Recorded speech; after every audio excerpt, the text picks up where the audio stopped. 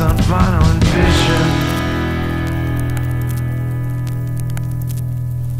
Hello, folks. Thanks for tuning in to the latest episode of Vinyl and Vision. Here we are with episode 108. Today's very special guest is Doug Mioducki.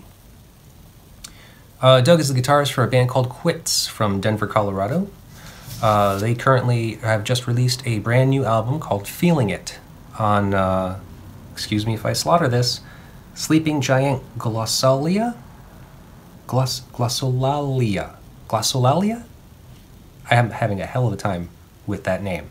Also had a hell of a time with a lot of this. Um, to this show is, is becoming increasingly difficult as the episodes go on. Uh, this one difficult because uh, again I am tackling a record that uh, has no no understandable lyrics. Uh, one one song is sung in a different language. You'll hear about that soon enough. Uh, the other songs have vocals but no lyrics. So again, nothing to go off of. But the album in discussion tonight is Sonny Sharrock's Black Woman from 1969. So no voc- no lyrics are needed for this album. Uh, I think that that's what Doug and I come to the conclusion of uh, over the course of our conversation. It's a hard record to talk about. Doug was afraid to talk about it. I was afraid to talk about it. I think that some of the reasonings that I had to be weary of trying to have a conversation about this album were not necessarily the same as Doug's, though I do think we did share a commonality in at least one aspect of how it's difficult. So let's tackle that now, just to get it right out there in the open. Um, this album is by Sonny Sharrock. It's called Black Woman, released in 1969. So I, I am not uh, a, a, historian by any means uh, for American history nor music history. But um, I think that it's kind of clear to, to see that though there is a lack of lyrics in, in the album Black Woman, it is incredibly poignant, powerful piece that is pretty much trying to shed light on the idea of racial injustice and um, maybe uh, racial tensions in America at that time in 1969 and unfortunately, it seems that it's still, you know, uh, completely relevant to uh, today as well. So it's a heavy record. It's a heavy record for that for that reason. Um, and performance-wise, it's incredibly uh, impressive as well. Uh, it's just, if you don't know this album, you should definitely listen to it. And if you do, or when you do, um, be aware it's going to be hard to listen to.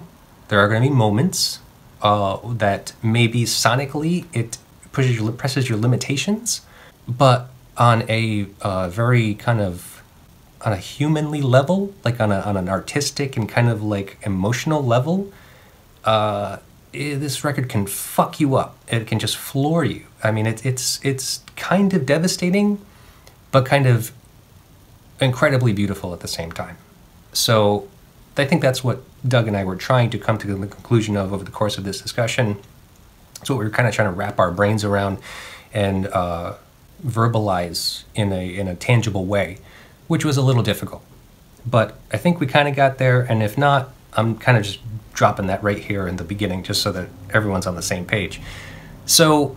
Um, Doug is in the band Quits uh, from Denver, Colorado. Their new record is out currently. It's available everywhere that you can stream music. Um, but we also, of course, encourage you to uh, purchase it. Uh, we will provide links in the show notes to the Bandcamp pages where it is available. And uh, I do encourage you also to please go listen to, if not buy, Sonny Sharrock's Black Woman album as well. I will provide a link to at least one digital platform for it so that you can listen to that as well. Um, do it by all means, it will change your life in one way or another. I can kind of guarantee that.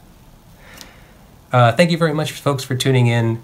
Uh, we very much appreciate everyone's uh, support. Um, one of the things we ask that you do is please do all the things you do with the internet like, share, subscribe, comment, rate, review. Uh, all of those things, they really help us out. And if you care to help us out in a financial way, you can always visit our website, psychicstatic.net, and uh, make a purchase there at any for anything, anything on the website that's available to purchase uh, goes towards funding our show, and we really appreciate it. Thank you very much, folks. Enjoy.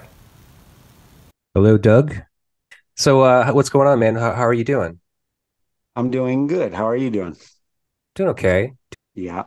So, so tell me about the store first and foremost. I mean, you're in a record store right now. Uh, you work there, Wax Trax Records, you said? I worked here for a long, long time. I worked here since early 90s. Okay. Uh, although I did take a few years off to move to Pittsburgh. I'm sorry. I'm just grabbing a drink while Sure. we do this. But problem. uh, yeah, I worked here since the early 90s. Took a few years off, five, six, seven, or something like that, and moved to Pittsburgh. And then I thought that I liked Denver a lot, so I moved back to Denver. And the owners here are super cool dudes, some of the coolest guys. They kickstarted Denver's punk scene for sure, and maybe early enough to be there at the beginning of the whole punk explosion. They're really cool dudes, Duane Davis and uh, Dave Stidman.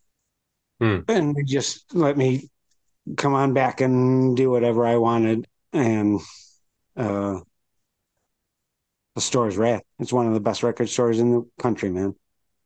Cool, man. Well, I hope to visit some point. You know, I, I mean, I love, I love a good record store, obviously. Could stay at my place. Okay. Cool, man. In Denver, huh? Yep. All right. Yeah. Um, no, I, we should just get right into this because I don't want to, I don't want to, you know, take Yep. any, any, any more time of yours than I need to. But, um, so let's start with your history, if you don't mind. So, um, where did you grow up? Well, I, I grew up in Chicago. Uh, was born there. Moved to the suburbs. My parents moved to the suburbs where I spent my formative years learning stuff. Spent some time in DeKalb and Chicago after that, and then moved to Denver when I think I was 20 years old. I think right before my 21st birthday Oh, okay. Uh, to play with a band. Okay. The Felt Pilots was the name of the band back then. Uh, What was the name? I didn't catch it. Felt Pilots. Felt Pilots. Okay. them, and actually, they, they were a jangle pop band. I think back then, 1990, we were called slowcore. Kind of like uh low or like uh Yes, we were buddies with Low for sure. oh cool. Uh, yeah. Uh, some of them talk to them more, but I still see Zach, or I still will say something to Zach online every once in a while, but it was distressing to hear about Mimi from Low, to be sure. yeah. That- Yeah. Those were the days when I moved here, the early days when they were just starting to call stuff slowcore.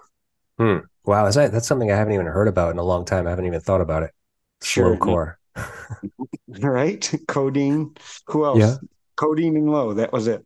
That sounds like about right. My my Bloody Valentine, kind of. Nah. Not Nah. really. Yeah, Nah. shoegaze. Yeah. Okay, all right. Um, so now, growing up in Chicago, uh, you came from a home, parents in the house. Both parents in the house, sure. Yeah. And they were good parents.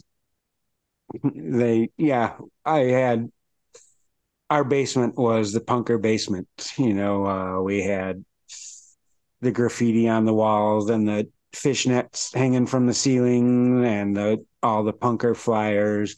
And I was not too much of a problem child, but my parents were good enough to let any problem child get rid of their problems in our basement. You know, it, it was it was a good place to grow up and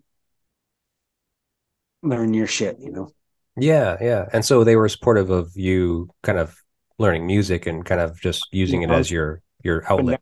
years, but for sure, yeah, they let me and some weirdos definitely play weirdo music in the basement for sure. Yeah. Oh, okay. And then what age were you starting to play weirdo music? 13. I mean, I, I think that when I jumped in, we started a band just to start a band. Mm. And we dove right into the weirdo shit. We nobody knew how to play. We just uh, maybe drew, drew straws to see who got which instrument and just because we didn't know what we were doing. I think it was fairly weird. It was the hardcore days. Yeah. And I sure we fancied ourselves a hardcore band, Okay. but uh it was never quite hardcore. It was always something funnier or weirder or stupider than hardcore. Okay. That's cool. So 13. So what did you end up playing? Like what, what, what straw did you draw? I drew the bass, Okay. which was fun. Not as hard to learn as the guitar. And uh there's some seven inches out there. Uh, yeah, uh, just silly, silly pre high school, even punk music, and it was fun. But we were sort of friends with some older folks, Mm-hmm. not too Okay. much older or not not weirdly older, but we were able to pretty early on as a kid play start playing like the college circuit and some weird bars. You know, it was mid 80s and there was hardcore bars or punker bars and stuff around niche bars around Sure. and as a young kid i was able to go and experience that kind of shit play Yeah. Cool. uh crazy crazy shows as a young kid and it blew my mind you know sort Yeah. of ruined for this life forever you know yep. Ru- Ruined. I- Okay. So really it really did like i don't Because you dove Well- too deep. Is that why? I just liked it too much. It's too much fun. You just do whatever you wanted. And also, uh, maybe those days of punk music, which that's the scene I was involved in, was definitely the punk scene. Mhm. But those days were weirder. Like punk didn't mean anything back then, it meant whatever you wanted it to mean.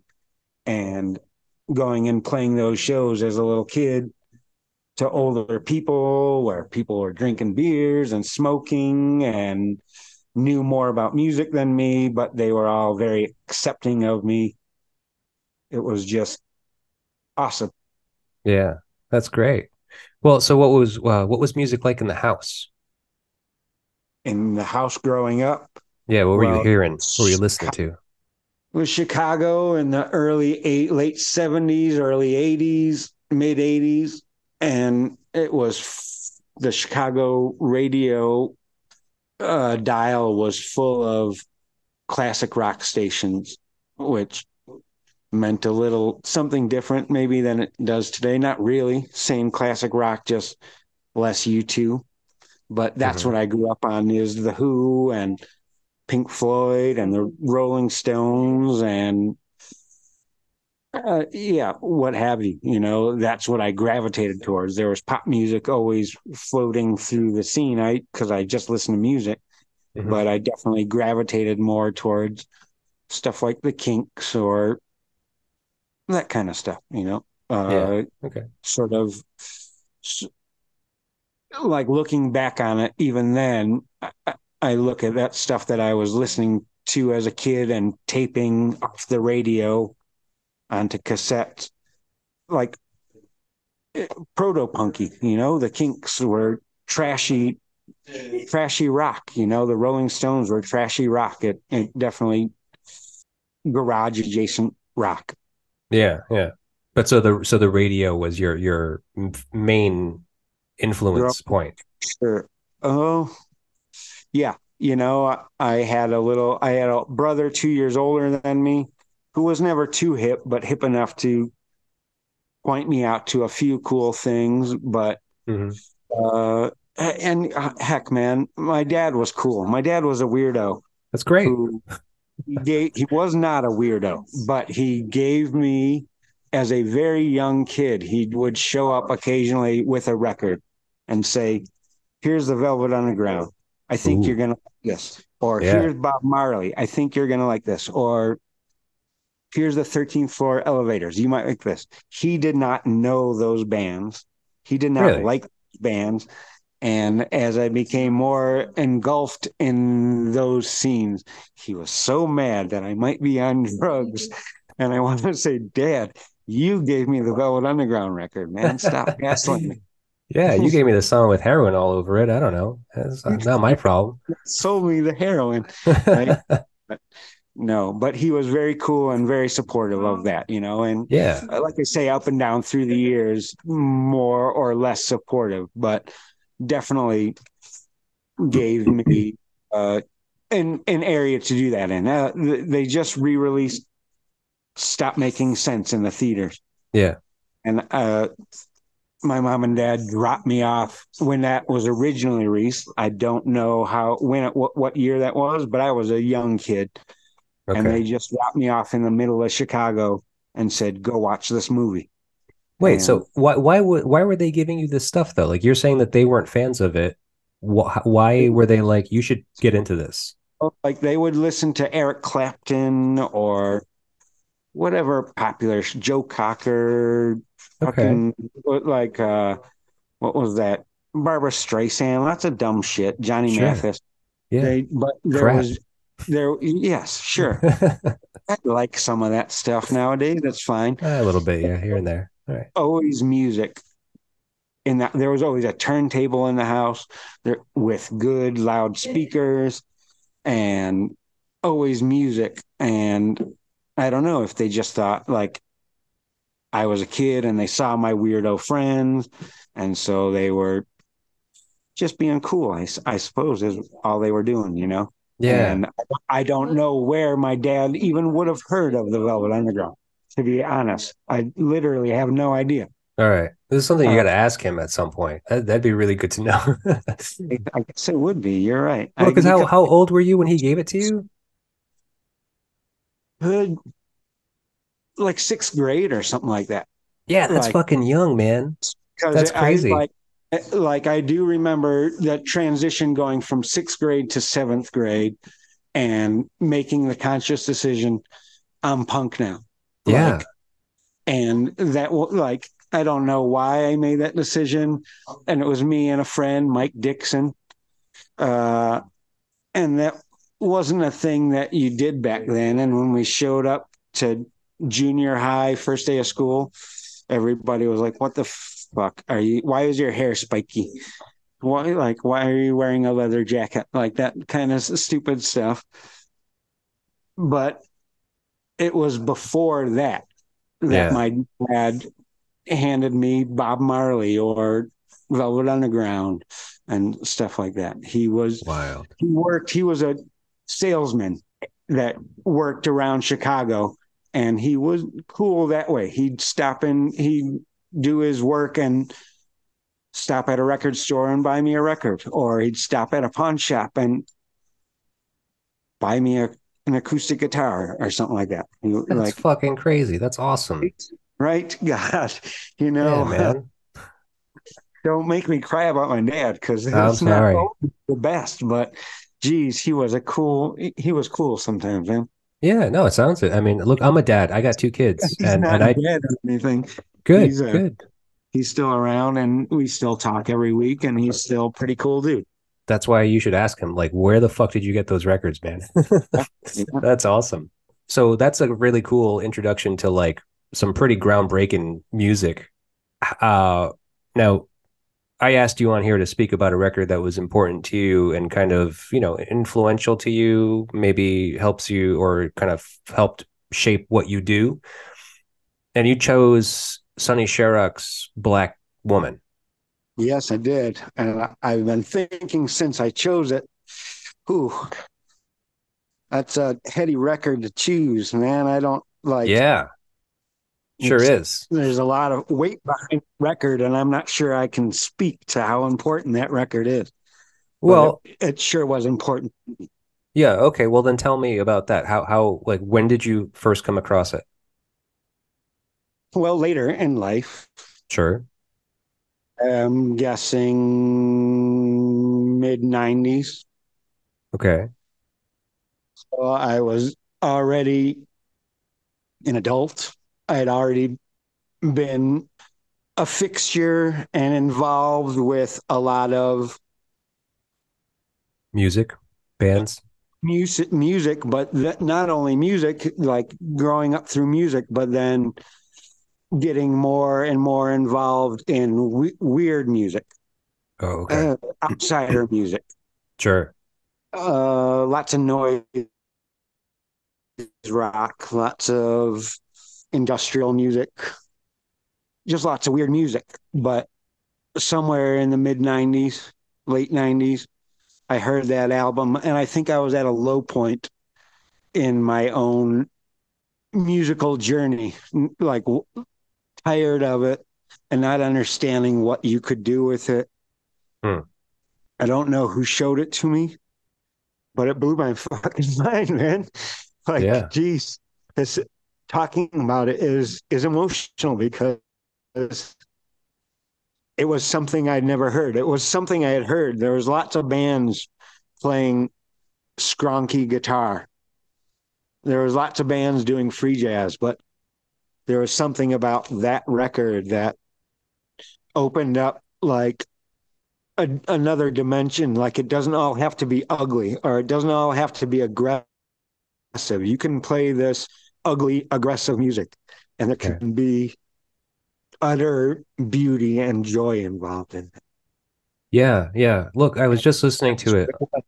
I was I just went out for a little bit in the city and came back and on the way home back home I'm in the car with my son who's 15 and I was just like this is what I'm talking about tonight let's put it on so I put it on in the car and by the time we got to the last song man he was just like I was feeling it and he like he just called it out to me he was just like uh I don't know if we can keep on listening to this like because he's so happy, man.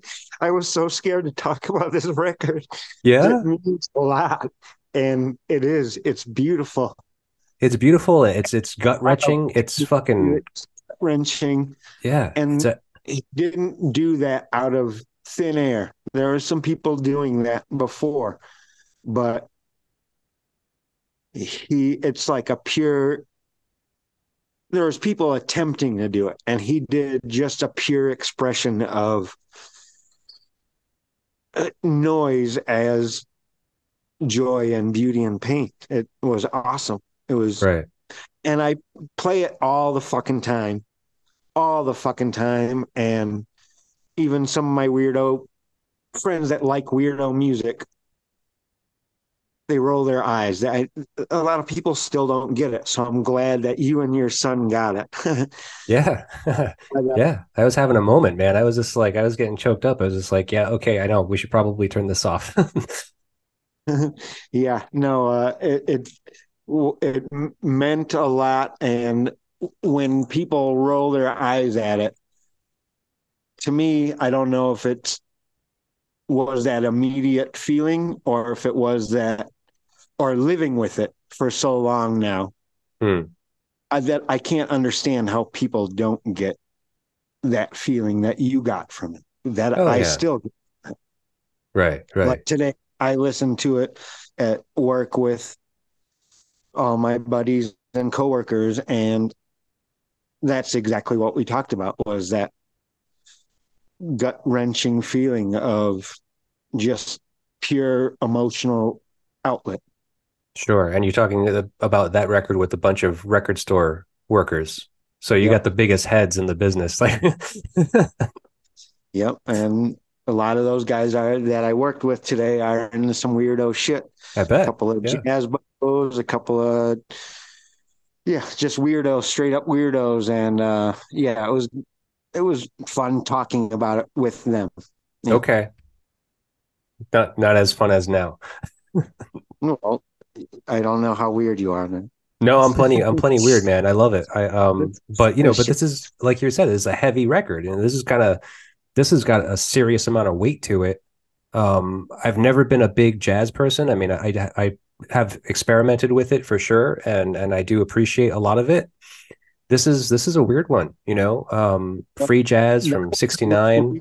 I was afraid to talk about this record a little bit is because I'm not the biggest jazz guy. I've yes, I like a lot of free jazz, but I like a lot of specific free jazz. Okay, That's and cool. it's and it's gotta hit a certain note for me. So even this record, Sonny Sharrock's Black Woman, was something beyond that for me.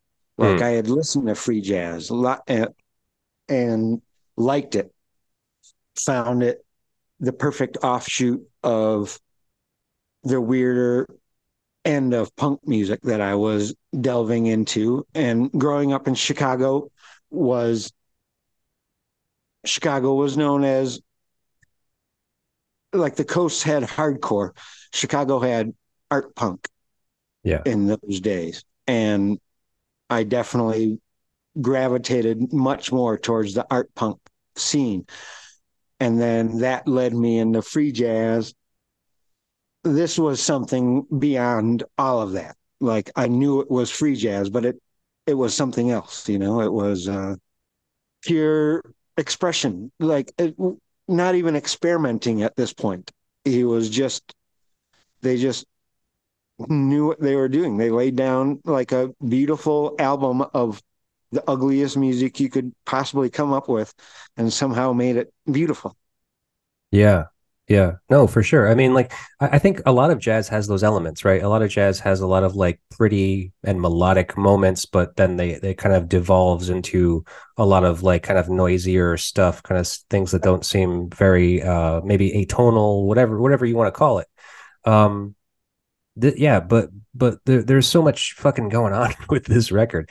Now, so you said just to go back to what you were saying, you said you were scared to talk about this record. Like, why why were you scared to talk about this record? Well, it's a free jazz record. And Yeah. I'm not a jazz bow. Like I say, I like a lot of it and listen to a lot of it, but I would never say I'm knowledgeable enough to discuss jazz. Oh, okay, all right. So it's just Uh, because you're not like a serious I don't- jazz. I don't know the depth of what all those guys were doing, but it also this is a specific record that Mhm. speaks of an experience that I I can't ever talk about. It's called Black Woman, Right, right. and uh, like you can hear why it's called Black Woman Right. in in the music, but Oh yeah.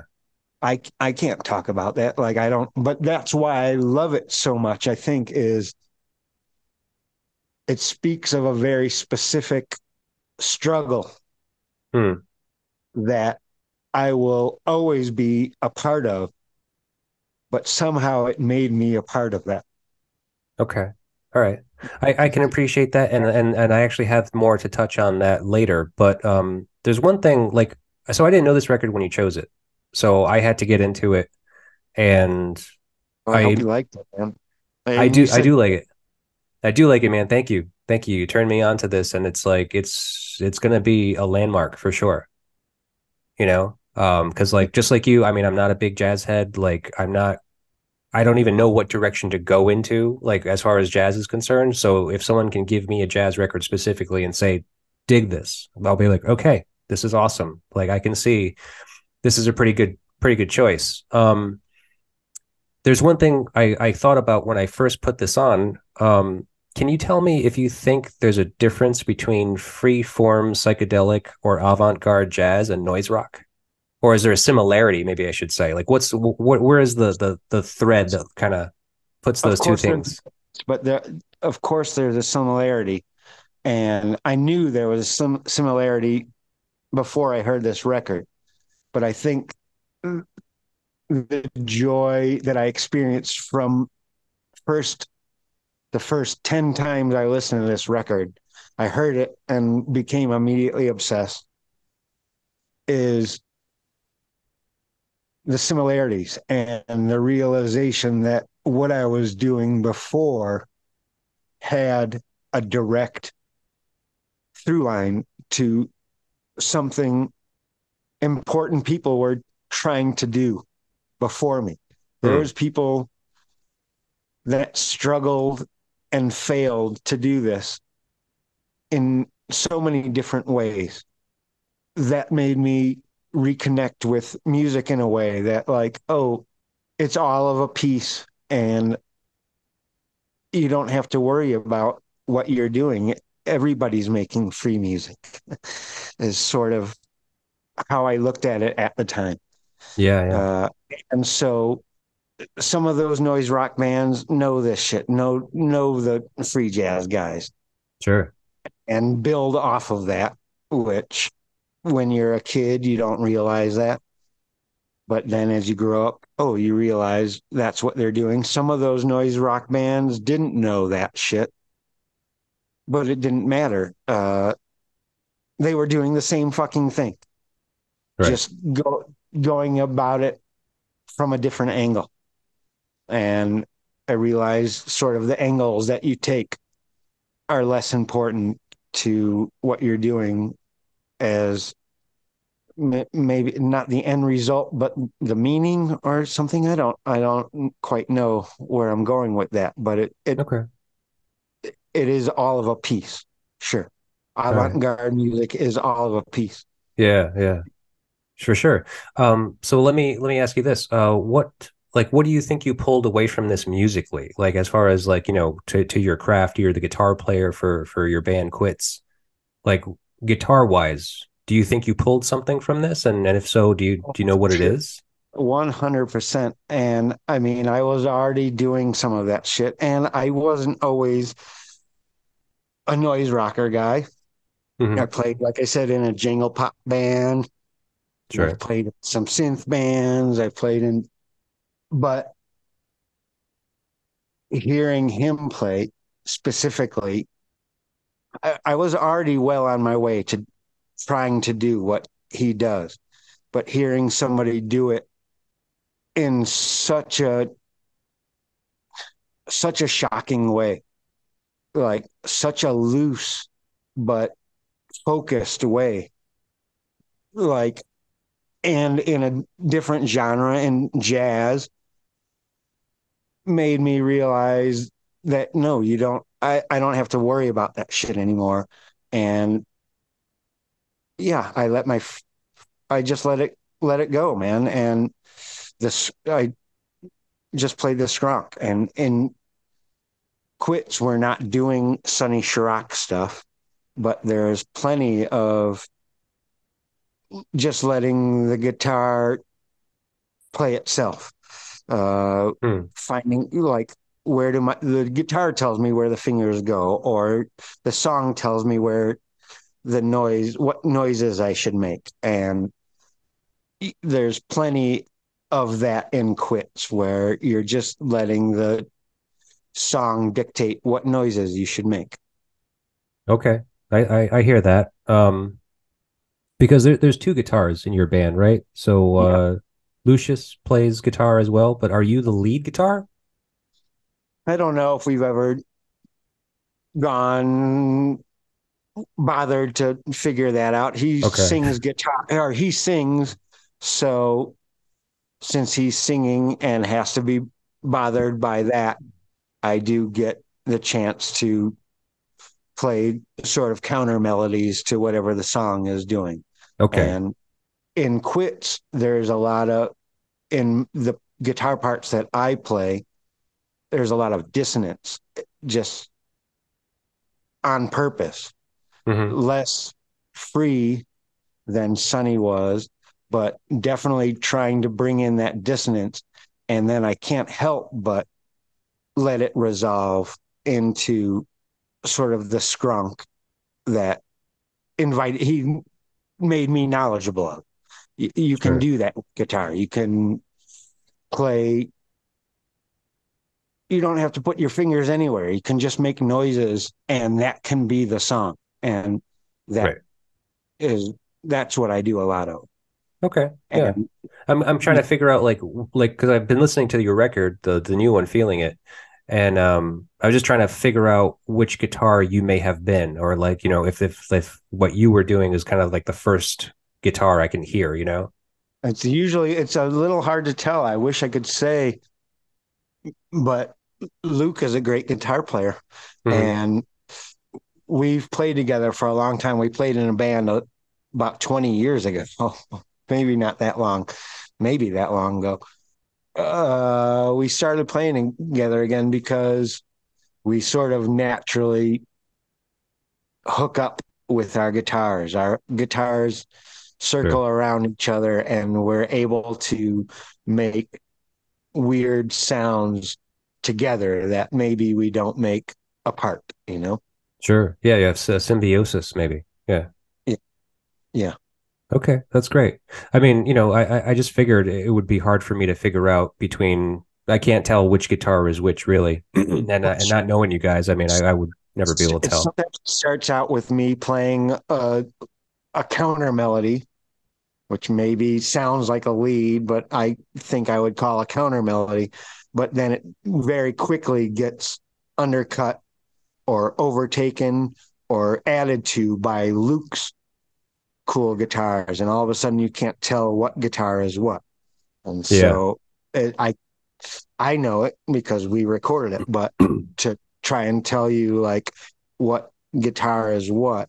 It's usually me playing those counter melodies on top, but it's not always. Luke definitely comes in with Yeah. some very cool parts. Okay, yeah, because I mean, I just you know, listening to the record, I know that like maybe even the first song specifically, I feel like has a lot of like guitar parts in it that I felt like were kind. It sounded like they kind of like were derived from from the playing that Sonny Sharrock is doing on on this record. You know, a little bit. There's a lot of that in me, and the band is definitely open to exploring all that shit.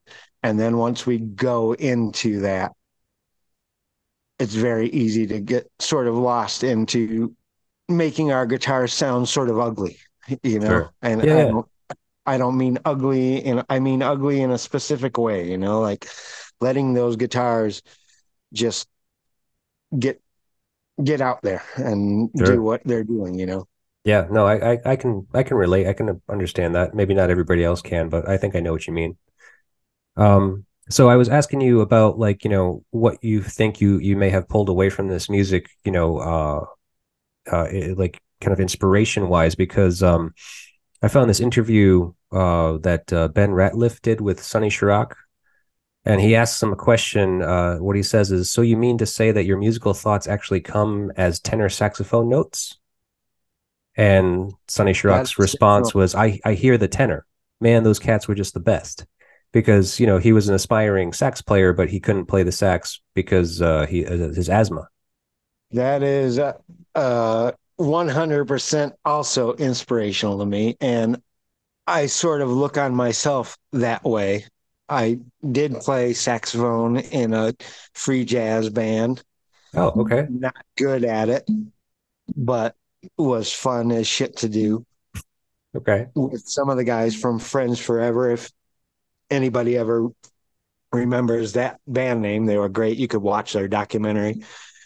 Uh, but you can make your guitar sound, even though it sounds like a guitar, it's making the noises that a different instrument can play. And us on Black Woman, especially, what is the last song? I forget what the last song is called. For Willie, I think it might be called.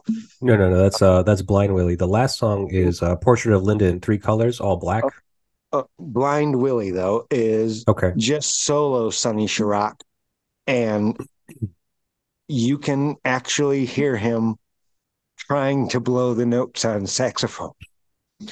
It's be- it's awesome, man. Yeah, it's yeah. awesome. He really thought he was a saxophone player, and that is inspiring to me. That you can shred like Albert Ayler Yeah, yeah. on the guitar. You can be a saxophone player. You can be a trombone player. You know, that was a big thing growing up in punk was I was a huge Minutemen fan as a kid. Okay. And reading interviews with those guys and Mike Watt saying like, "Oh, I heard Albert Ayler and I thought it was a hardcore. I just thought he was another hardcore band." Uh that's Yeah. awesome. It's Yeah. it's all the same and to hear like to learn that Sonny Sharrock thinks he's a saxophone player right. is it's inspiring and freeing to me. You can do Yeah. whatever the fuck you want on the guitar, you know? Yeah, man. No, I hear you. Well, let me ask you this based on that that uh, quote I just read to you. Um, do you think you hear in guitar or do you hear in another instrument? like I we talked about a little bit earlier, I drew bass as a high school kid, Mhm. and I think I hear a lot still in bass. And I've definitely opened myself up on purpose to hear it, the guitar as a different instrument. But I realize it's a guitar. like I don't I don't know what else to say about that. But I've opened my mind up. When I'm writing songs, they turn into quit songs.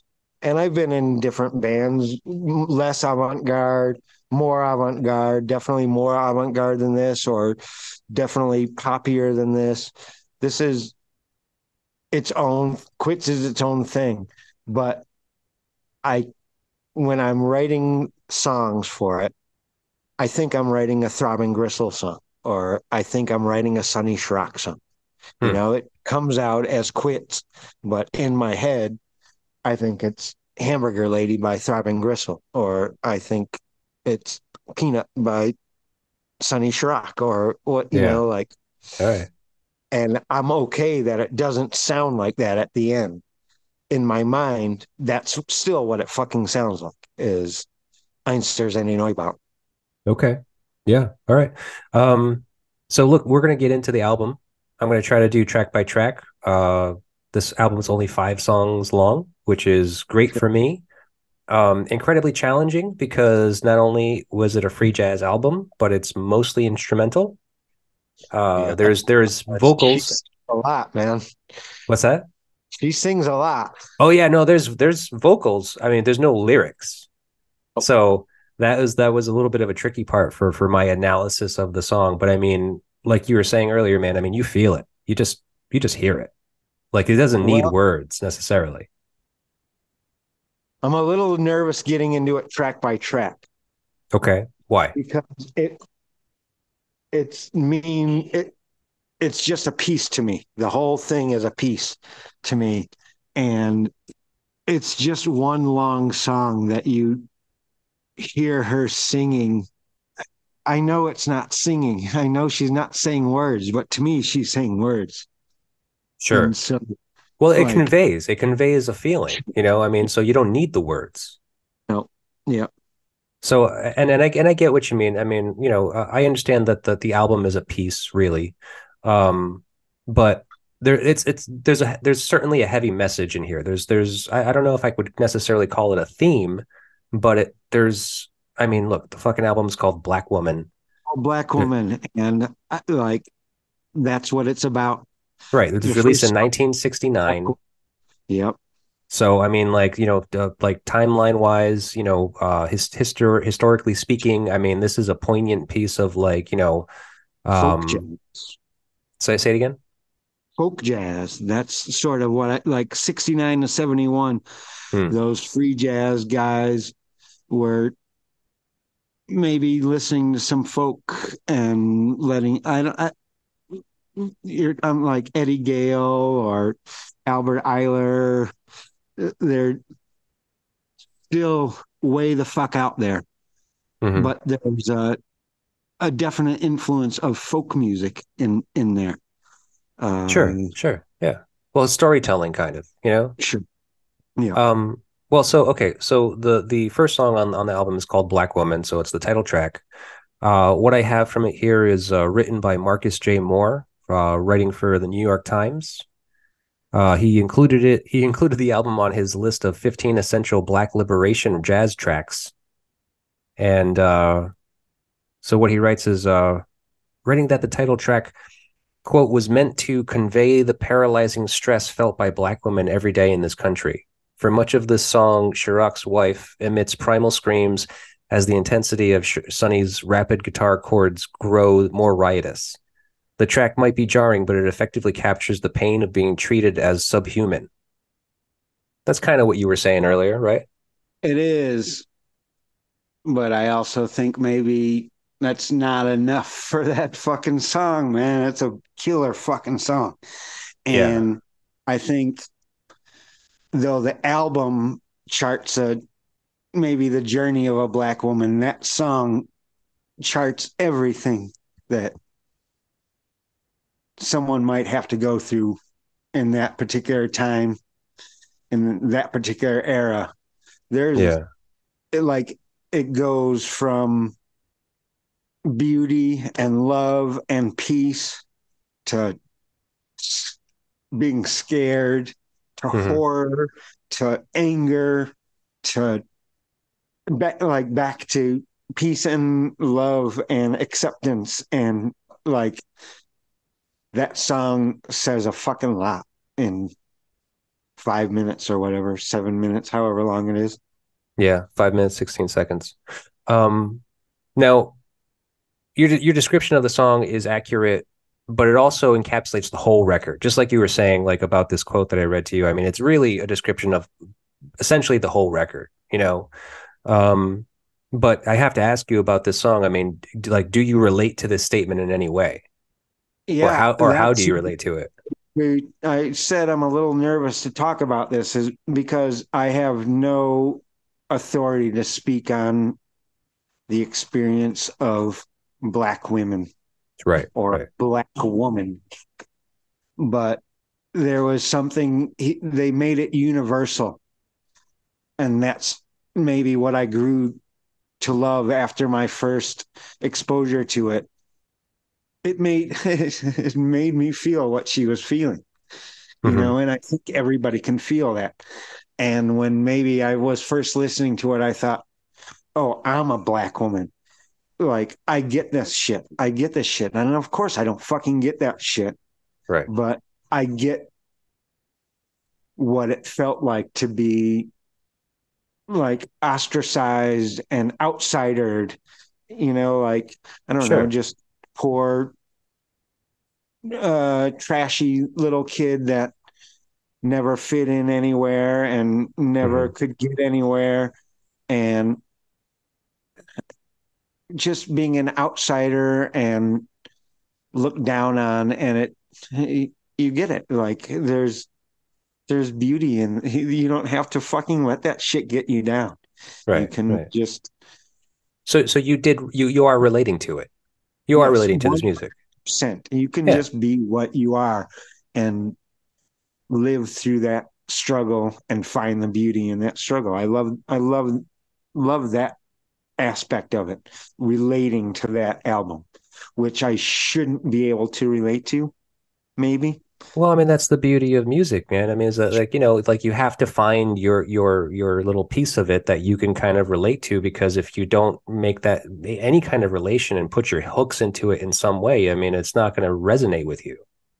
and it's also maybe why that's so good is they they were able to do that they were as a band as a band not just Sonny and Linda but all those other guys that like the piano Mhm. in that song the bass in that song the drums in that song are intense the drums in that song are beautiful and express just as much emotion I think as Linda Sharrock is expressing. Sure, sure. Yeah. Um look, let's move on to the next song. Uh Peanut. Mm. What do you know about this song? Anything? Nothing Okay. except that sometimes I wonder if it might be Sonny Sharrock's uh, pet name for Linda. That's all I can come up with is I- because it's a beautiful fucking song, Yeah. and I think it might be a love song to his wife. Yeah. Well, you know what? I have a theory. So in the research, I found out that uh, Peanut was the nickname of a uh, black woman named Mamie Johnson. All right. So Mamie Johnson was one of three women to play in the Negro League and the only woman to take the mound as pitcher. Holy shit! Yeah. really? Yeah. And so she was nicknamed Peanut because she was tiny. She was like five foot three. She was like this little peanut of a girl. Whoa, you're Yeah. blowing my mind. I did not know that, and it makes me love it even more. I think. Yeah, yeah. So I mean, like it's so um so keeping with the theme of black woman being the theme of the album essentially. I mean, uh here's this black woman who is overcoming, you know, social injustices and and and racial uh, prejudice and becoming one of the uh first women and and premier woman to to like play in the in the Negro League in the fifties.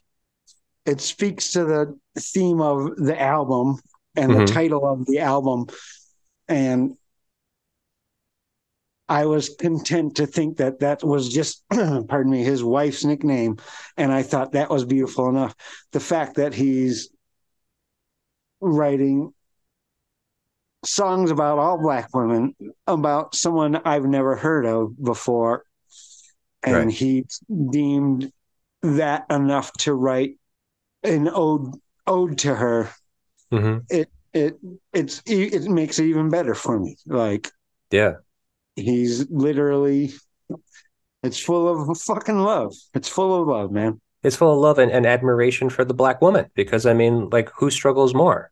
Yeah, I mean, like, I mean, look, it's it's a political statement and, and it's a, certainly a period piece. I mean, I think that there's a lot of people that struggle these days, but I mean, black women have it pretty fucking hard. You know, I mean, women will say in general, women have it hard. Completely agree with that. Um, so if you keep on adding on the the the minorities to that uh that that like label, right? So women have it women have it hard. You add black woman on top of that, makes it worse. You add like black uh, homosexual woman out on top of that, and fucking even worse. You know, you just kind of keep on narrowing it down to like the the the, the dregs. The all male, already discriminated baseball league. That's that's uh yeah, like that's an important statement that he's making. He's I think so. Yeah, writing a love letter to the downtrodden, which I think is where I relate to it. Not the downtrodden, but a love letter to uh, the outsiders. Yeah, The- yeah, The outsiders. It's a love letter to outsiders. Yeah. And that's where definitely where I connect with it. right. For Well, like sure. you said, it, it's about all black women. It's not just like the one black woman. I mean, like Linda Linda think- Sherrock. It's also about her, but I Sure. think you're it's also about all black women. in in this album, Linda is carrying the weight of generations of black women through her lyrical performance or her through, through her vocal performance. You know, like that's what it is. And that's what's so fucking powerful is that you like you just feel like anything that you know about history, like whether you're a history buff or not, like you fucking know th- that they had struggle, you know, from from day one to now. You know, and that's the fucking weight that that this whole album carries and it's carried through through her voice And sort of what I love about it, and maybe when we get to different songs, we might talk about it, but that is the overwhelming sensation of the album. But there are moments of in the music and in her singing, there's mo- moments of utter tranquility oh, or Oh, yeah. beauty or mm-hmm. peace or acceptance, like or joy. Yeah. Or like where it's life isn't all a fucking struggle, man. yeah Like, no. There's there's beauty to it. Hard you struggle, it's still fucking beautiful. You know? right absolutely look so i gotta ask you a question about this song peanut um from what i told you uh about you know this song and this is this is a complete hypo- hypothesis I, I have nothing to corroborate that this is what it is about but it seems essentially you know being an ode to, to this woman uh nicknamed peanut who uh you know who who overcame a lot of uh social injustice um i think i think you took the the name of your new album feeling it from a similar scenario of of injustice and, other human atrocities is, that right It was sort of a general sense of disillusionment. I think feeling it. it this record just because of when we lived through was a particular we lived through the pandemic. We were doing this through the pandemic. So that was a part of it but almost a joke part of it. We're feeling it. We're we're sick with the fucking covid but it also meant we're feeling everything. Right. It sort of meant we're just feeling the same old fucking shit that we've all, all always been feeling, but there's new shit that we have to fucking deal with now, and we're feeling it. It's all- it's just hard. It's it's just it's hard. Yeah, it's feel, feeling everything that is kind of becoming overwhelming. So that is definitely an extension of the way that this that this Sonny record made me feel. And mm-hmm. 100% yes, that's what it meant. We're feeling fucking everything. Okay. And not also not just the bad. We're not just feeling the sick or the fucking cops or the fucking politicians or whatever the fuck. We're also feeling the good shit. It it all we're feeling it all and having to process that shit, you know. Right. Okay. I hear you, man. Well, look, let, us move on to the next song. Uh, by Biolero, I guess you pronounce it that way. Biolero. Biolero. All right, so this one's weird. So it's it's labeled as traditional. I, I really don't I don't know where this song comes from really. I think it's an old French song, and bailero, by baila it means dance, Dance. Yep. and uh, it's in reference to a dance Okay. they're performing. Is All what right. I believe. That's all. That's all. That's just what I think. Knowing my little bit of Spanish or Portuguese, I believe that's what bailero is. They're referring to a dance. I've Right. not heard the original song. I might have checked it out once or twice throughout the years, but I don't know the original. Okay. Ne- neither do I. But uh, I did find this about this online. Uh, so I found this on songtell.com. So this is like nothing to to to uh, put any stakes in. Okay. I mean, this is like, as a matter of fact, this this quote was generated by AI. Right? All right. So so Doing now AI interviews. well, I mean, just just just take it with a grain of salt. Just but um but so Bailero by Sonny Sharrock is a unique and enigmatic song that transcends traditional language barriers through its use of an ancient I can't even pronounce this word ancient uh Oc- Occitan language Occitan it's O C C I T A N I don't know I don't, I'm not familiar with this I probably should have looked it up Yep. I had gone this deep in my re-listening, but Right, right. So the lyrics, I mean, so actually, I, I saw that the the lyrics, like if I listen to music on Apple Music for the most part, and so you can actually listen, you can look at the lyrics along with the song as it plays, and this has lyrics printed. So there are lyrics for this song, and it is in a different language. Oh, in a different language. Can Yeah, you- are- they're printed in a different language. Yeah, yeah. It's all rented. It's all written out, and it's it's a different language. I can't read it. I have no other, no fucking idea what it means.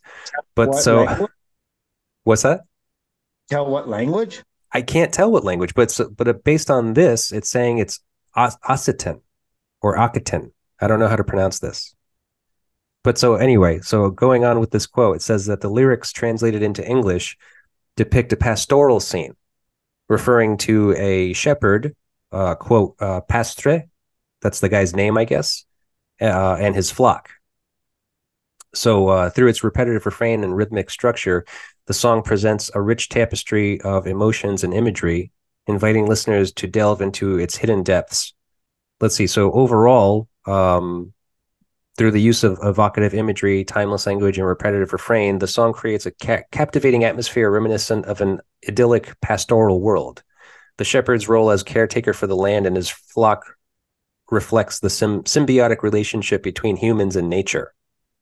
I almost wish I didn't know that because it like it's it's perfect and it fits perfectly as the third song as they've already struggled so much in those first two songs and now they're going out and saying like it's all it's all good man it's all Sure. pretty it's all beautiful it's all Mhm. easy just take it easy and it's it's all going to be okay Right. that's what that song sounds like to me and now hearing what it actually means sort of sounds like that's what they're saying is like Yeah. really kind kind of like just getting back to nature you know just kind of like look just just kind of maybe whatever the the the pressures and the the stresses that we feel um you know get back to nature and get back to a, a happier kind of like easier time, right? Yeah, but also in the context of the album itself, more means like black, the black woman of the title is mm-hmm. saying it's all all right, man. Yeah. Okay. Like, like we can we can live through this shit. We can we can do this. It, it's not all pain and struggle. It's all it's we can live our fucking lives and be happy. Right. Okay. I, I, I can agree with that. But um, based on what I told you and kind of like this this uh, you know, if the song in, in fact is is a relationship or at least describing the the uh, you know, the relationship between humans and nature, um, being from Denver or at least being in Denver currently, uh like do you have a relationship with nature? Oh, sure. Sure, a little less these days, but of course, like that's why you moved to Denver. Uh, Right. Denver's exploded. a lot of quits music deals with the unfortunate explosion in population or uh, urban growth that Colorado and Denver is experiencing. But that's why you moved to Denver, is because you can't help but notice it here. It, Mhm. It's it's an overwhelming here. Uh, the mountains are always looming to the west. You know the sunset is always a brilliant red over the west. It's Hmm. 20 Okay. minutes and half an hour to get to mountains where you think this is the deepest mountain that must exist, but it's only a half an hour away from Denver. You know, uh, it's sort of forces a connection of nature on you. So you kind of have to love it if you're living there. I think so. I think that maybe, and maybe, I mean, I moved here from Chicago on purpose because of that. Oh, okay. So maybe I'm a little more open to it, but it's it's prevalent, and so it's growing up in Chicago. You don't notice it as much. In Denver, it's just all around. It's it's always there. Right. Okay. All right. Well, look, let- let's move on. We we only got a couple more to go. All right. Uh, Blind Willie. So I we talked. I talked about this one before. Right. Can't get over it, man. I can't get over hearing him play his guitar, thinking that he's a saxophone player. He's Right. getting it in, and I, I don't. I think it's a tribute to a blues guy. I don't know if it is or not, but he's Sure. blowing his heart out. He's All right. blowing his heart out as hard as he can, man. Right. Right. All right. Well, look, this is what I have about it, and I'm and then I have a pretty uh, involved question for you afterwards. So uh, what I have here is says it's what's striking about this version of Blind Willie, ostensibly a tribute to Blind Willie Johnson, but perhaps also Blind Willie McTell, uh, is Sharrock's audible breathing throughout the piece, pacing his phrases as a reed player would. So uh, the effect is intimate and mildly unsettling, but entirely part of Sharrock's concept and approach to his instrument. And that was by Matthew Sumera of Trouser Press. Well, I know this much about Sonny Sharrock. He w- wanted to play saxophone. I, I don't know who he heard it, maybe Coltrane or mm-hmm. Ayler or something like that. And he wanted to be a saxophone player. Right. But he had asthma and couldn't play the saxophone. So he tried to play his guitar as though it was a saxophone. Which, fine, you can say that all you want. But to hear him f- fucking do it on a song, Right. play his guitar and try to breathe the parts through his guitar is killer to me. It's, killer. awesome. Right. Well, look, let, let me ask you this. Um, is there anything uh, you have noticed or maybe been told is unique about your playing? Um, possibly being derived from previous habits or skills, kind of like what we're talking about, like Sonny, you know, kind of being inspired by saxophone but not being able to play it and kind of influencing his, his playing. Particularly me no. Nobody talks about my guitar playing. I, I, there's some people that will say some stuff here or there. I, I don't think i'm on any kind of scale where people might be talking about that mm-hmm. but what do but you think i don't i think the guitar can be anything and I think I realized that early on. But living with this album for so long made me realize the guitar can be anything. The guitar can be a drum. The guitar can be a saxophone. The guitar can be a synthesizer. The guitar can be a garbage truck. You know, the guitar could be a hammer or a a pillow. You know, it could be anything you want it to be, whatever you want it to make it sound like. Just make mm-hmm. that noise. It's not that hard. Okay. And as far as being known for guitar playing around these parts, I think people think that I'm a pretty weird guitar player and they'll never express it in the way that we're expressing now but that's the way I think of guitar is it can be the, anything. It could be the wind. It could be the street. It can be a guitar. It could be right. whatever the fuck you want it to be. Okay. And uh, that's how I go into every single song that I ever write. All right. Cool, man. That sounds cool, man. That sounds fucking awesome, really. um all right, moving on to the last song. Portrait of Linda in three colors, all black. oh, I know, man. I'm fucking dying. This song kills me. It, it kills me.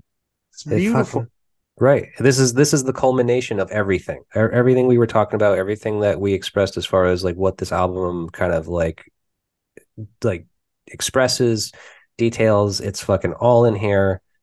It's all this song. It's all for this song, really. And it it's a love song. He writes it right there in the title. Yeah, it's a love song, but it's so much more than a love song. You know. Well, it's a piece of art, like just kind of like like an artist would say, like a portrait of. This is a portrait of Linda.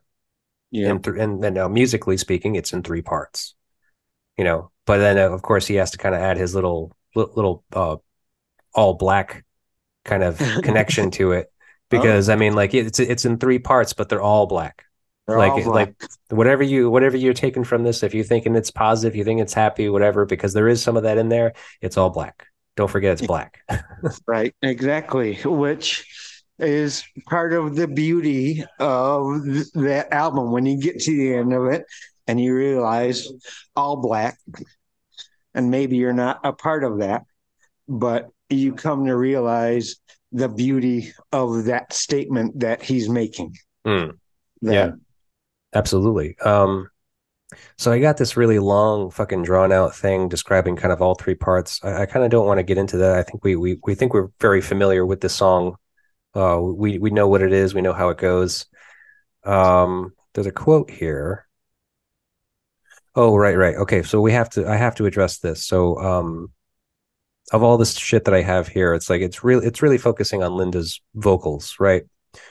So she returns, wailing uh, a, a keening note, attempting to match the trumpet in power, surpass it in height. But she keeps falling just short, never quite hitting that the note that will resol- resolve the chord. As she continues to sing, the notes grow more ragged and exhausted, and her voice cracks, sobs, shakes. At last, she is merely moaning, grumbling, muttering, then silence. The third section is instrumental, guitar, piano, and drums raving out, out to the end of time. The song ends on a fade out. For all we know, they're still playing. That's a quote from Jonathan Bogart from One Week, One Band uh, blog. so, based on this definition of the singing performance, I'm I'm curious if this is also a sonic timeline of the life of a black woman condensed into a few excruciating minutes. Oh, well, of course. Of course it is. Yeah. I, I I don't know what else to say because the whole album is that. But Yeah. that song is particularly that. Yeah. Yeah, this song is particularly that. And for all we know, they might still be playing, man. Uh, That's great. I've never never heard that quote, and I, I don't I don't know what Sonny Sharrock was thinking. You know, I don't I don't Mhm. know. No, I know. I don't either. I mean, a lot of what we're talking about tonight is complete complete speculation. You know, there's no hard facts here, but I mean, I think we can certainly feel uh what what he must have been trying to intend. The beauty of music is it's all uh, you know, interpretation. It's uh, it's what you what whatever you want to pull out of it, essentially.